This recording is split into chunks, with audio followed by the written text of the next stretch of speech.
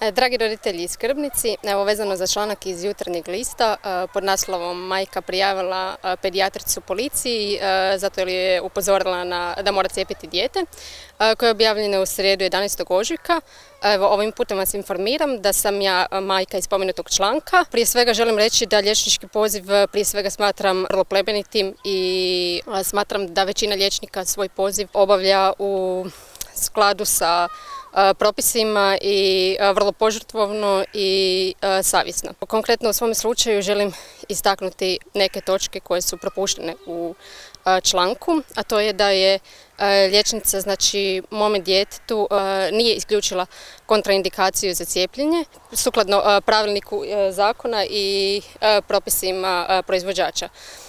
Dakle, u najboljem interesu za svoje dijete, u dobi od tri mjeseca odvodim ga na redovito cijepljenje. Moje dijete je do tada bilo zdravo.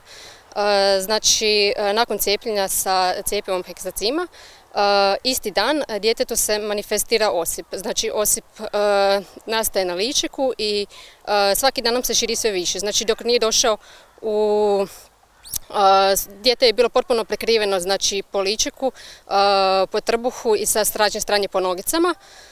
E, također mu je isti dan izostala stolica koju je imao redovito po nekoliko puta dnevno kao i svako ovaj, e, drugo dijete u dobi od tri mjeseca. Počeo je reagirati na preporučene kreme i kupke. Nakon toga sam liječnici izrazila sumnju da e, je osip nuspojava cijepljenja, što je ona negirala i odbila je prijaviti ovaj, sukladno, suprotno zakonu o lijekovima, tako da sam sumnju na nuspojavu prijavila agenciji za lijekove sama.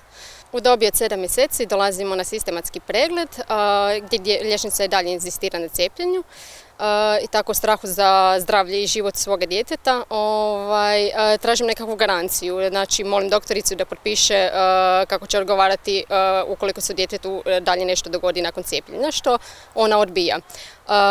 Nakon toga inzistiram na, na alergološkom testiranju za cijepivo koje bi isključilo kontraindikaciju ovaj, kako ne bi ukrozili u život. Znači sa uputnicom se naručujemo na alergološko testiranje i termin dobivamo četiri mjeseca kasnije. Znači u čekanju termina u međuvremenu dobivamo poziv za docijepljenje.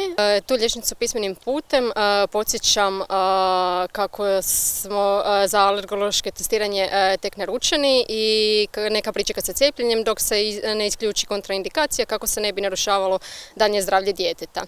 Konačno dolazi to testiranje, test pozitivan što potvrđuje alergološku reakciju, što je zapravo sukladno e, odredbama ovaj, trajna kontraindikacija na uh, sporno cijepivo kao i svako drugo koje sadrži ovaj, iste sastojke, jedno ili više istih sastojaka. Ovaj, nakon dokazanje alergološke reakcije E, liječnica e, i dalje inzistira e, na cijepljenju po preporuci alergologa koji je ovaj, izvršio testiranje djeteta i također nam ne, želi dati potvrdu za vrtić, iako smo od zdravstvene voditeljice u vrtiću dobili potvrdu kako djeca sa dokazanom kontraindikacijom ne trebaju biti cijepljene, ali to ugrožava život i zdravlje te djece.